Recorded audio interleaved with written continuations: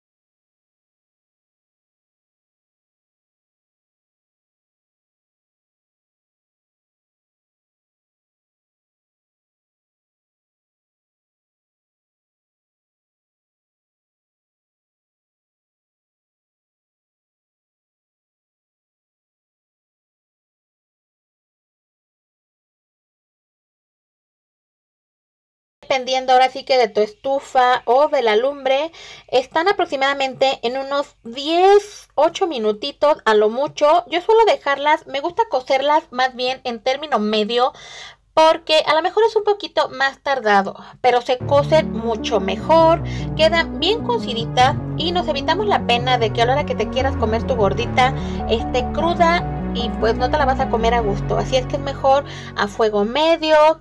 Se tardan un poquito más, pero quedan bien cociditas y bien doraditas. Como pueden ver ustedes en la imagen, así es como a mí me quedan y la verdad me encanta.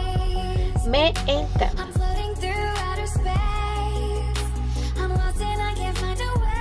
Ya tengo mi refractario preparado, coloqué papel para que absorba la grasa de mis gorditas.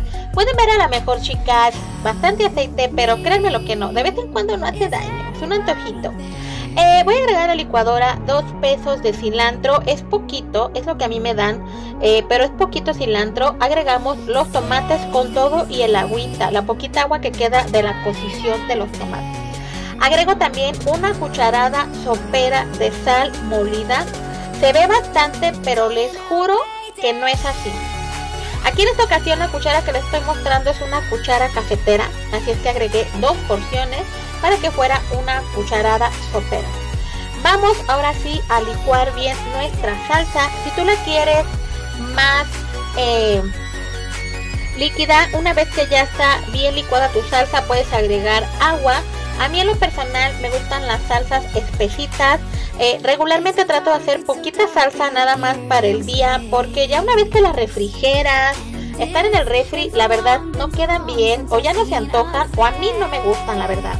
Yo hago poquita salsa, la hago espesita, ni tan líquida y siento que quedan bien. Es un consejo que les doy a ustedes, ahora sí para no estar desperdiciando tanto. Y no batallan tanto a la hora que ustedes estén cocinando.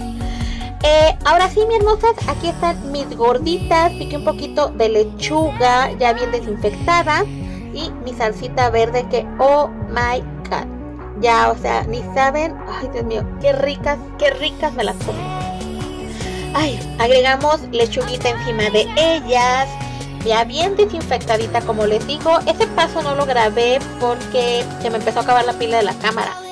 Eh, agregamos un poquito de queso de mesa. Le da, o sea, un sabor riquísimo, chicas, riquísimo.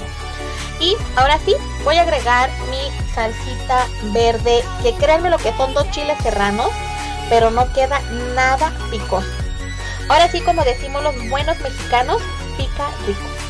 O sea, te la comes a gusto. Y guisado terminado. Gordita de chicharrón prensado. A mi estilo. Les mando muchos besos, chicas. Espero que les guste mucho y pongan en práctica este platillo.